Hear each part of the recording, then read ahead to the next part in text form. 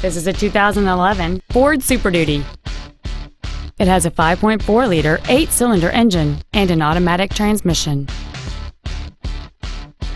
Contact us today to schedule your opportunity to see this automobile in person.